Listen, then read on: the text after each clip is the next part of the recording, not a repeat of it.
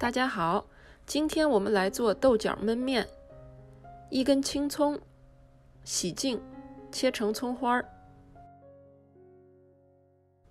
一斤豆角，去掉两头，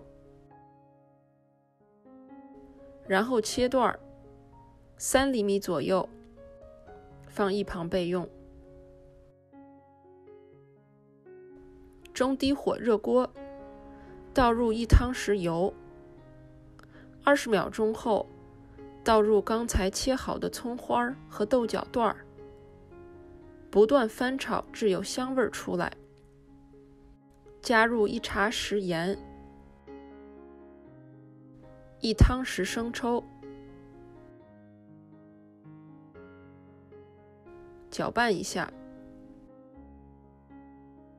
然后分几次倒入大约四分之三杯的冷水，将豆角均匀铺在锅底。大家看情况也可以再多加一点水，但水的高度一定不要完全没过豆角，要不一会儿蒸面的时候面会坨在一起。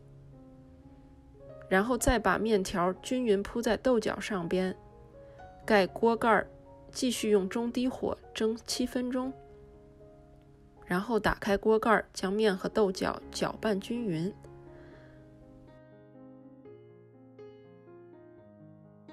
再盖上锅盖蒸一分钟。